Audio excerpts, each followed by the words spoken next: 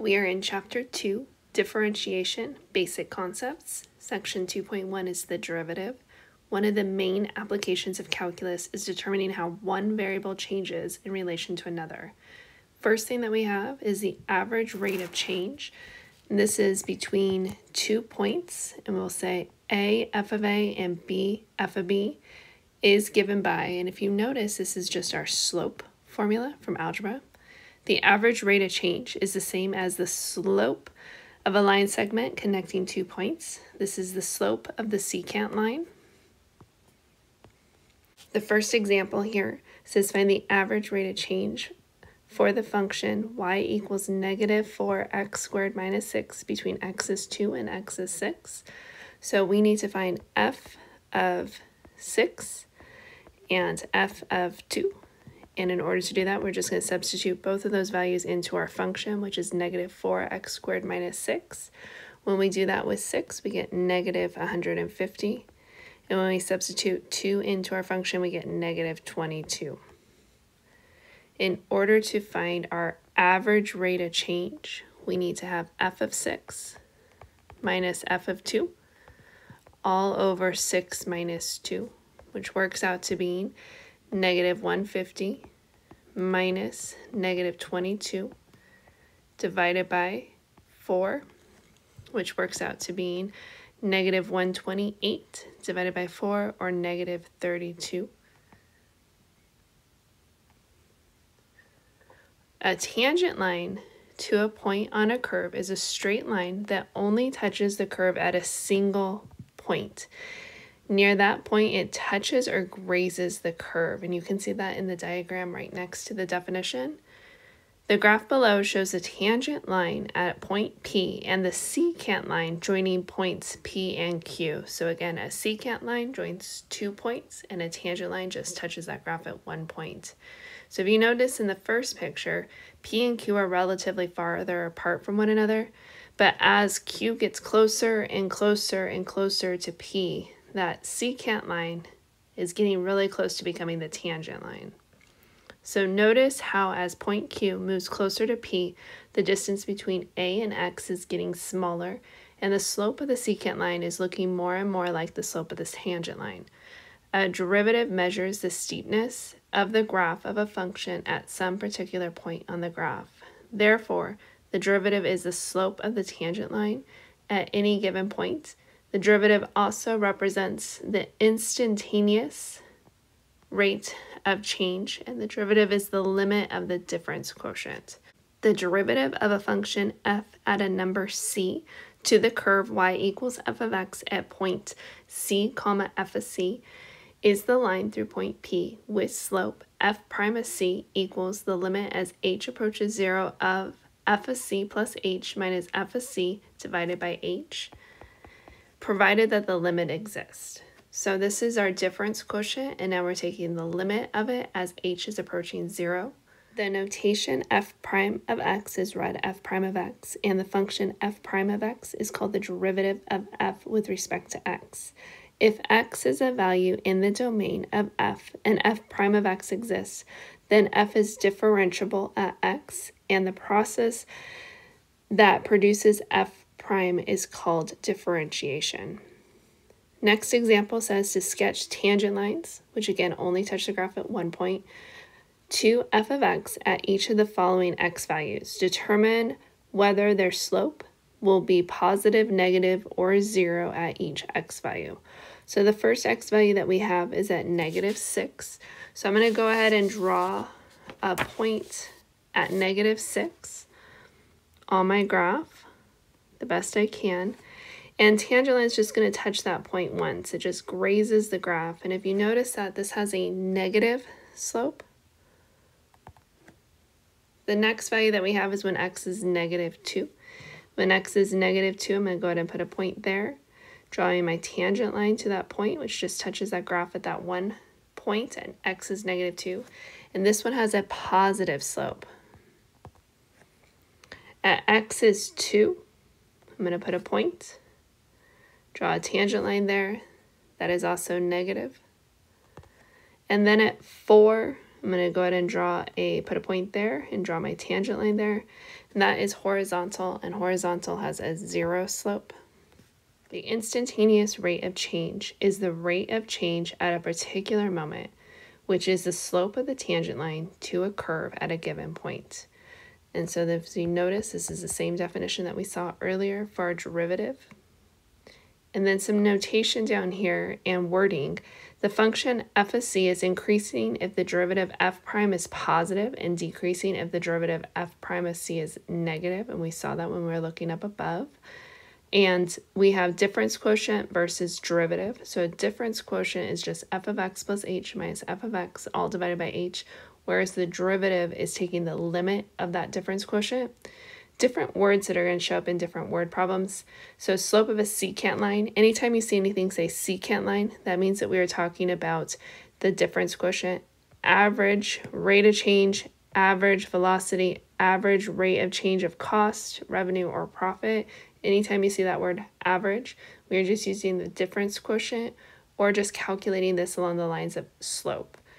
Whereas a derivative is where you take the limit of the difference quotient this is where you would talk about tangent line, instantaneous rate, instantaneous velocity, or marginal is going to be our keyword, especially for our business problems. So marginal cost, marginal revenue, or marginal profit.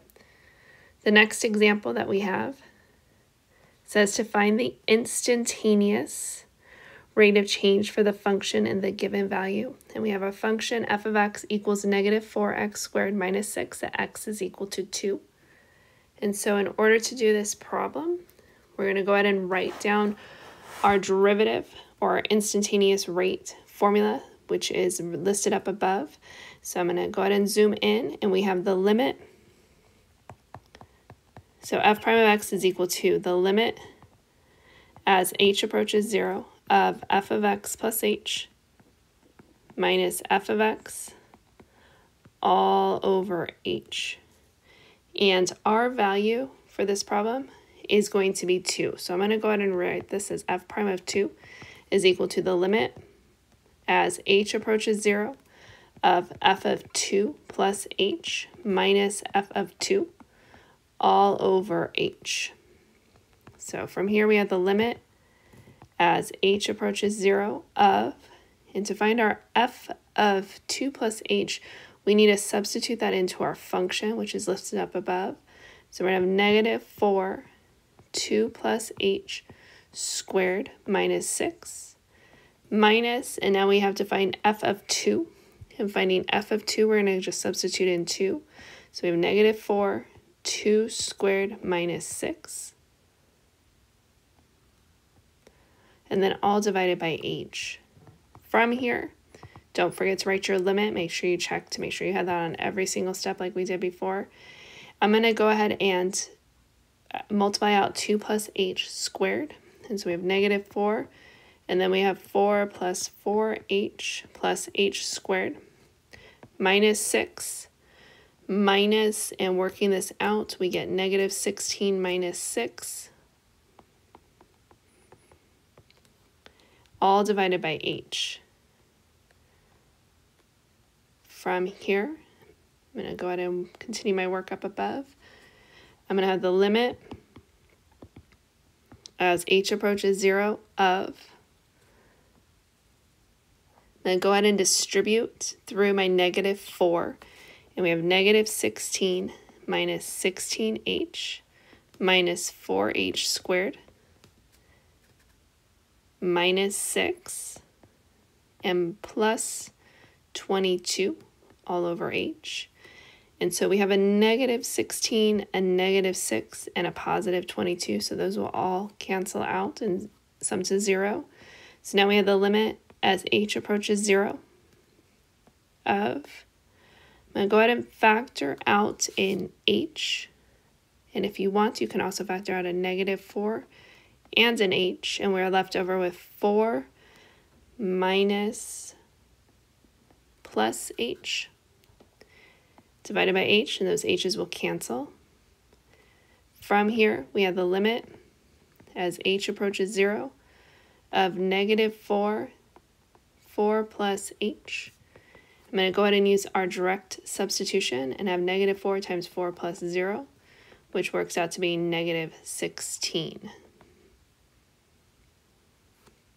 And if you look at this from the beginning, you could not have evaluated this at h equals 0 because if you had, you would have ended up with 0 over 0. And from before, we know that that means we'd have to be able to simplify this, and we did. By doing that, we multiplied this out, combined our like terms, and canceled out um, factors that we could to simplify this. The next example that we have, we're going to go ahead and circle, and we'll work on that one together in class. The next definition that we have is a tangent line. It says assume that f of x is differentiable at x equals c. The tangent line to the graph of y equals f of x at the points x is c is the line through c comma f of c with slope f prime of c with the equation given by y minus f of c equals f prime of c times x minus c. This is actually a formula you've seen before. It's just written a little bit different from when we saw it in algebra. So this would be the same as our point slope form, which is going to be y minus y1 equals m times x minus x1. And if you notice, f prime of c is just your slope, and our value c is our x part of our ordered pair, and f of c is the y part of our ordered pair. Types of non-differentiability. A continuous function is not differentiable at cusp, vertical tangents, and corners. And there's diagrams right below that show all three of those. If f is differentiable at c, then f is continuous at c. Differentiability implies continuity. If f is differentiable at x equals c, then f is continuous at x equals c. If a function is discontinuous at x equals c, then it is non-differentiable at x equals c. Note, continuity does not guarantee differentiability. The next section that we have is 2.2, Techniques of Differentiation. Using the definition to calculate the derivative is a very long and tedious process. We will now develop rules that make calculating the derivative much easier. Notation for the derivative. The derivative of y equals f of x may be written in any of the following ways. So we've already seen f prime of x. Another one that shows up a lot is going to be dy dx. And then we also have d dx of our function. And then d with a little sub x of f of x. The dy dx notation for the derivative is read the derivative of y with respect to x. So the first rule that we have is the derivative of a constant function and the derivative of a constant function is just zero. So that's saying that the slope of a constant function is zero. So definitely one of the ones we need to know. The next rule that we have is called the power rule. It says if n is any real number, then the derivative of x to the n is going to become n times x to the n minus 1. This is another big rule for us to know. The next thing that we have is the constant multiple rule says if c is a constant and f is a differentiable function, then the derivative of c times f of x is just the same as saying c times the derivative of your function with respect to x. For use with the power rule, that c just stays there and is multiplied by n, and again that exponent is subtracted by 1. So that's our constant multiple rule. Next, we have some examples. The first is going to be if f of x equals negative 2, then find your derivative f prime of x. So f prime of x, since this is just a constant value, is just going to be 0. The next example says if f of x is equal to negative 3x, find dy dx. So dy dx. And from this, you guys have negative 3x to the first. So if you think of this as negative 3 times 1 times x to the 1 minus 1, which is going to become 0. This is just going to work out to be negative 3. And then the last one that we have is the square root of t. And for any kind of radical or any kind of variable where you have in the denominator, you need to rewrite it as an exponent. And 1 half is equivalent to the square root of t. And so this is asking for us to find dy dt. Also notice it's dt because we're taking this derivative with respect to our variable t, not x. And so we're going to have 1 half t to the 1 half minus 1. So this works out to be 1 half t to the negative 1 half. And we usually don't leave exponents as fractions or, rat- or rational values, and we also don't leave them as negative values. So negative means that it's going to move to the denominator. So we're going to have 1 over 2 t to the 1 half, and then rewriting this as a root instead of as a rational exponent, we're going to have 1 over 2 times the square root of t.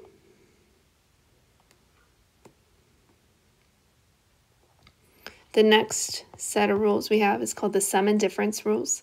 If f and g are both differentiable, then we could take the derivative of f and g separately, and that sign in between them would just stay the same. So the first example that we have is find the derivative of each function. The first one is y equals 3x to the fourth minus 2x cubed plus 5x minus 7. So taking the derivative of these, I'm going to go ahead and write dy dx Again, you could put y prime. There's a lot of different things you can do. So we have a 3 times 4, x to the 4 minus 1, minus 2 times 3, x to the 3 minus 1, plus 5 times 1, x to the 1 minus 1. And then since this minus 7 is just a constant, that's just going to become a 0. Simplifying this, I'm going to have 12x to the third minus 6x squared plus 5. And this is going to be our derivative. This is our dy dx. The second one that we have, it looks a little different. First of all, our sum and difference rule only works when you have a plus and a minus, not a quantity squared. So I need to actually simplify this before I can actually take the derivative. I'm going to go ahead and multiply this out and do 2x minus 1 times 2x minus 1, which works out to being 4x squared minus 4x plus 1. I need to find the derivative of this. And so to do this, I'm going to go ahead and have 4 times 2, x to the first, minus 4. And again, that plus 1 is just going to become a 0.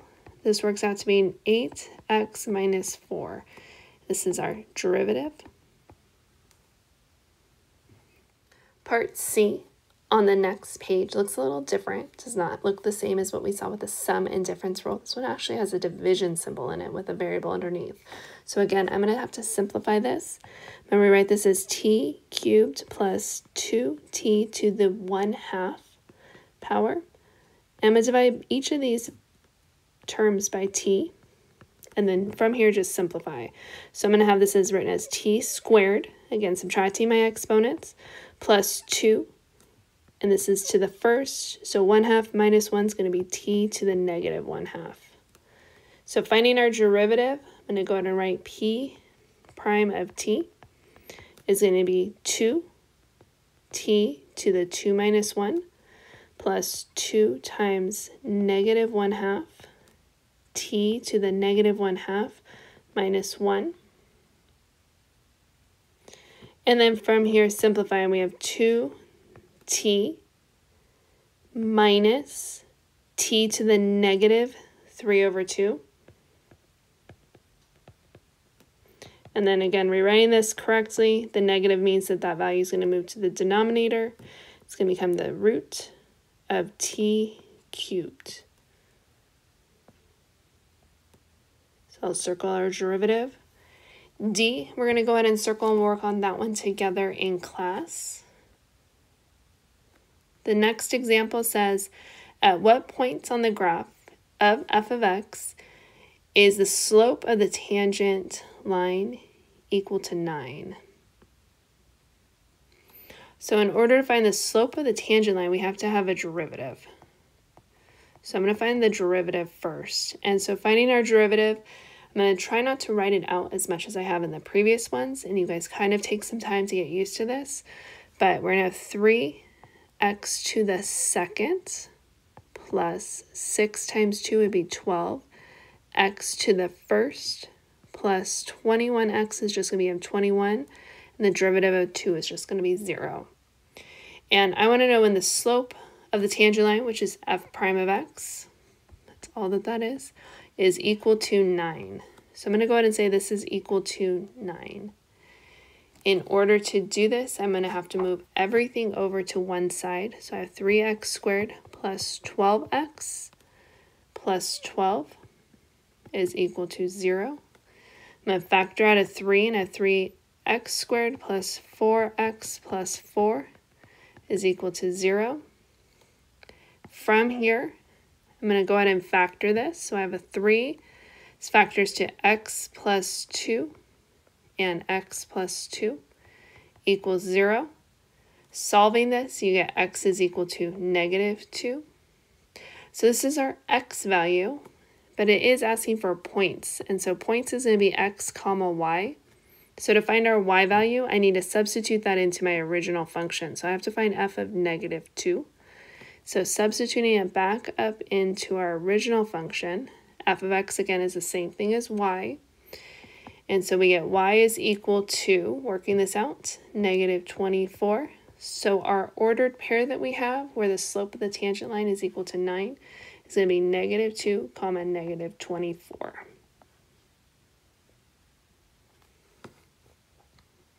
The next example says that what x values is the graph of the function where the tangent line is horizontal. So when it's horizontal, this means that our slope is equal to 0, or our derivative which is also the slope of the tangent line, is also equal to 0. So first thing I need to do is I need to take a derivative of our function. So we have f prime of x equals 3x squared plus 4x plus 1. And we are going to set this equal to 0. From here, we're going to factor this. This factors as 3x plus 1 and x plus 1 is equal to 0. Solving both of these, we get 3x plus 1 equals 0 and x plus 1 equals 0. So we get x is equal to negative 1 third and x is equal to negative 1. So these are our two x values that we have. Again, this problem only asks for x values, not y values, but if it did, we would have had to plug these x values back into our original function in order to get our y values. The next thing we have is marginal analysis. In economics, it's important to study the rate of change of a variable such as cost, revenue, and profit. Since the derivative of a function gives the rate of change of the function, the marginal cost, revenue or profit also, is found by taking the derivative of the cost or the revenue or profit function. The marginal cost, again, revenue or profit, is approximately the cost or the revenue or profit of producing one more unit. So this is for producing one more unit. Remember that profit is equal to revenue minus cost. And we have a demands function, which relates the number of units Q of an item that consumers are willing to purchase to the price P. So we have R of Q is equal to Q times P, or Q times D of Q. So the first example that we have is to suppose that the total cost in hundreds of dollars, and again, we've seen this already, but most of these problems have different units, so you need to be aware of that. To produce X hundred ounces of cheese is given by, and we have a C function, and again, this is the total cost. Find and interpret the marginal cost at X equals 10. So we need to find it and interpret it at X is equal to 10 and this is in 100 ounces of cheese. So we need to find the marginal cost. So in order to find the marginal cost, we need to take the derivative of our function. So taking the derivative, we get 15x squared minus 20x. Again, derivative of 75 is a constant. That is just going to be 0. And it wants us to figure out the marginal cost for x is equal to 10. So I'm going to go ahead and substitute in 10 into our derivative. So we have 15 times 10 squared minus 20 times 10. Working this out, we get 1300. You need to be aware of the units. And this is talking about our cost, and our cost is in money, but our money values that we have up here is hundreds of dollars. So we'll go ahead and write hundreds of dollars. And so you can leave it like this, or you can add on those two zeros that we have for 100 or you can have this written as $130,000. It also says to interpret this. And so after 1000 ounces of cheese has been produced. And that's our X value. Again, X is in hundreds ounces of cheese. The cost to produce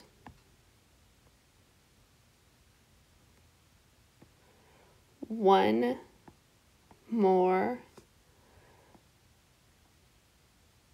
hundred ounces of cheese is $130,000.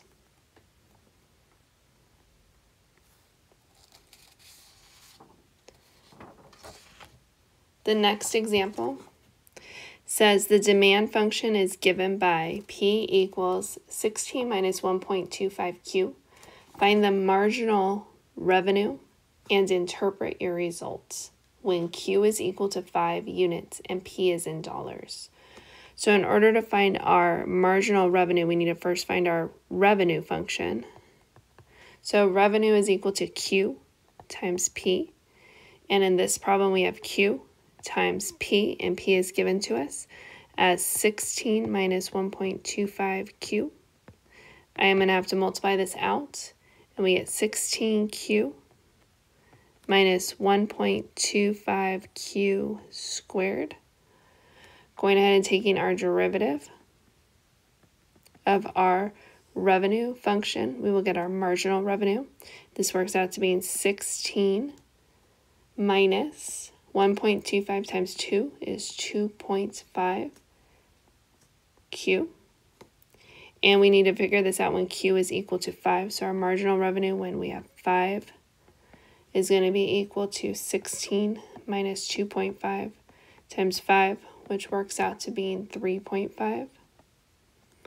So we also need to interpret this. So the next item sold at sales of five units. That was our value of Q. Will produce additional revenue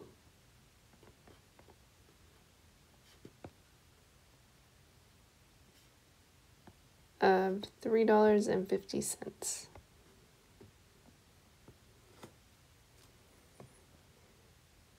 The next definitions that we have on here are relative and percentage rate of change.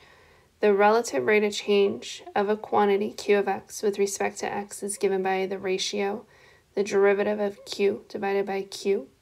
The corresponding percentage rate of change of q of x with respect to x is, we have 100 times that same exact relative rate of change we had right above. So the next example that we have says Gary's start, starting salary is $45,000 and he gets a raise of $2,000 each year. Part A says express the percentage rate of change of Gary's salary as a function of time. So Gary's salary, I'll call it G, is equal to the base salary, which is a starting salary of $45,000, plus he gets 200 or $2,000 every year. And I'm going to go ahead and call our years T. So finding our derivative of Gary's earnings with respect to time is going to work out to being 2,000. So this has to express the percentage rate of change of Gary's salary as a function of time. And so we have our derivative, which is 2,000, divided by our function, which is Gary's salary, which is 45,000 plus 2,000 T. And again, it wants it as a percentage rate, so we're going to multiply this by 100. Does say to leave it as a function of time, so that means that we are leaving it in terms of T. Part B says at what percentage rate will Gary's salary increase after one year? So going ahead and substituting in T is equal to 1, we're going to have 2,000 divided by 45,000 plus 2,000 times 1, and then times 100, and we get 4.26%. The next section that we have is section 2.3, which is product and quotient rules and higher order derivatives. More complex functions will need additional tools in order to differentiate them. So the first rule that we have here is called the product rule. The product rule says if f and g are differentiable functions, then f times g is also differentiable. And the derivative of f times g is equal to f times the derivative of g plus g times the derivative of f or the first times the derivative of the second plus the second times the derivative of the first. And then note there's a thing that you cannot do down here, so do not do that, where you distribute your derivative to both of those values in the parentheses. So the next page has examples. The second example we're going to go ahead and circle. We'll work on that one together during our mini Zoom lectures. So the first example says find the derivative of f of x equals 3x squared minus 1 times x to the fourth minus 3. So you could multiply this out and then use exactly what we've done before and take our derivative just as it is. But we're going to go ahead and look at these two things. I'm going to call the first one my value of u. So this will be 3x squared minus 1. And I'm going to call my second term there v. So v is going to be equal to x to the fourth minus 3. So in order to do this, I need to find my derivative of u, which is just going to be 6x. And I have to find the derivative of v, which is going to be 4x to the third. Now, in order to take my derivative of my function, which is f prime of x, I'm going to multiply the first thing times the derivative of the second, which is just these two along this way. And so I have u times v prime plus the second times the derivative of the first, which is going to be v times u prime. So I'm going to go ahead and substitute in all the values that we have here. So I have u, which is 3x squared, minus 1. v prime is 4x cubed, plus v, which is going to be x to the fourth, minus 3. V prime is going to be 6x. From here, we're going to distribute this And we end up with 12x to the fifth minus 4x cubed plus 6x to the fifth minus 18x. Combining my like terms, we end up with 18x to the fifth minus 4x to the third minus 18x. And this is our derivative. This is our f prime of x. So this is dealing with when we have products. We also have another set of rules down here, which is the quotient rule, which is when we're dividing. So if f and g are differentiable functions, then f divided by g is differentiable for all x such that g of x is not equal to 0. And so we have the derivative of f divided by g of x, this is definitely a formula that you need to have memorized, is going to be g of x times f prime of x minus f of x times g prime of x divided by g of x squared. Or you can use the little way to remember this as low d high minus high d low over low squared. And also note that this is not okay to do is distribute a, a little prime. So we have two examples again. First one we're going to work out together, and then the second one we'll leave as one to do together with our Zoom lecture. So in order to find the derivative of this, I'm going to write dy dx. We're going to do low. So low is going to be our denominator. And so we have 5x minus 1 times the derivative of the top, which is 2, minus our top, our high, times the derivative of the bottom, which is just 5, divided by the denominator, squared. From here, we need to distribute this and clean this up. So we have 10x minus 2 minus 10x minus 15 all divided by 5x minus 1 squared. And again, this is going to simplify our 10x's. 1 positive, 1 negative equals 0. So we get negative 17 divided by 5x minus 1 squared. And again, this is our derivative. This is our dy dx.